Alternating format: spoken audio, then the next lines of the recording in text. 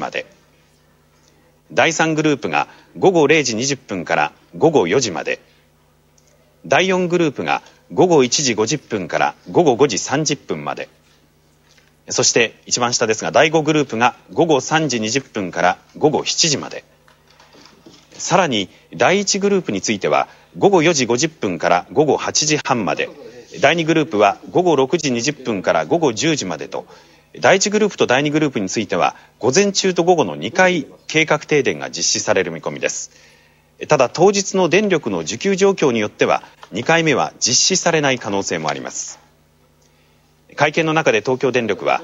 今回の計画停電では明日は荒川区の一部を除いて東京23区は対象になっていないと述べました。えー、23区は原則的にはあの今日明日の段階ではやらないと。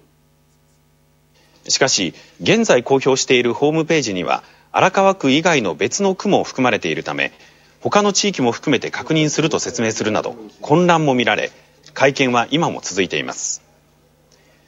東京電力はあさって以降についても翌日の電力需要の見込みや発電所の復旧状況を見ながら当面の間計画停電を続けていくことにしています。東京電力によりますと計画停電が実施されるのは昭和26年に会社が設立されて以来初めてのことで今後12週間で現在稼働を停止している火力発電所が動き始めても来月いっぱいまでは計画停電を続けざるを得ないとしています。東京電力では工場など大口の利用者に対して電気の使用を抑えるよう求めるとともに家庭でもできるだけ電気の使用を控えるよう節電を呼びかけています。